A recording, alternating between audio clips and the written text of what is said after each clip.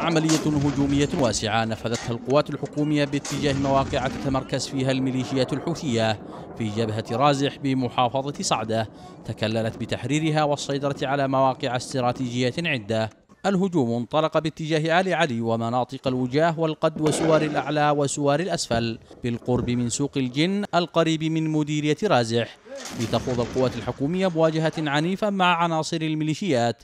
استخدمت فيها مختلف أنواع الأسلحة كان للقنابل اليدوية دورا محوريا لدنو الأطراف من بعضها خصوصا عند عمليات اقتحام المتارس والتحصينات.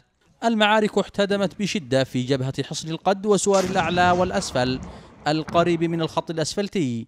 حقق خلالها أبطال القوات الحكومية تقدما واسعا في مختلف المربعات كما قاموا بتمشيط المناطق التي تم السيطرة عليها. فيما تمكنت الفرق الهندسية من انتزاع وتفكيك الكثير من الألغام التي زرعتها الميليشيات الحوثية في المناطق المحررة. نحن في المدارس الأمامية وعثرنا على هؤلاء العبوات من قبل العدو.